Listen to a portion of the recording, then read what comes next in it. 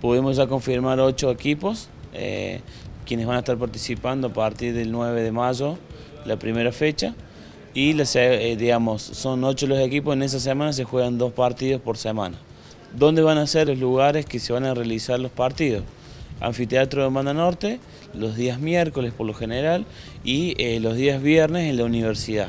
Así la mayoría de los equipos pueden, y en Carnerillo, perdón, que es eh, otro de los lugares que, hemos abierto la propuesta, que cuando le toque Santa Paula jugar de local, eh, los otros equipos hagan el esfuerzo justamente porque el tema de viaje y, sabemos que viajar está caro, entonces que todos tengamos la posibilidad de, que aunque sea ir una vez a Carnerillo y que haga de local en su cancha.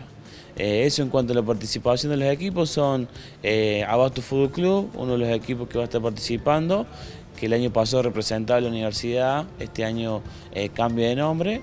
estudiantes, Asociación Atlética de Estudiantes, vamos a tener a otro equipo nuevo que es el Barça Fútbol Club, que es integrante de, anteriormente jugó futsal, pero bueno, este año se está sumando.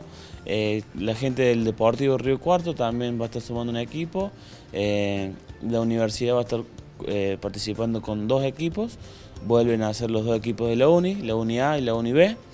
Que bueno, paso a comentarles, la primera fecha ya nos toca enfrentarnos a las dos UNI y eh, Santa Paula de Carnerillo y Deportes Río Cuarto sería el octavo equipo para poder participar. Comentanos cuáles son las expectativas de los delegados, de los diferentes equipos eh, en el marco de estas reuniones que han tenido para organizar este, este torneo. Eh, bueno, por parte de todos los chicos que están a cargo de los distintos clubes hemos encontrado una muy buena predisposición en cuanto es difícil por ahí coordinar y juntarse en una reunión tarde, y por ahí terminar tarde también.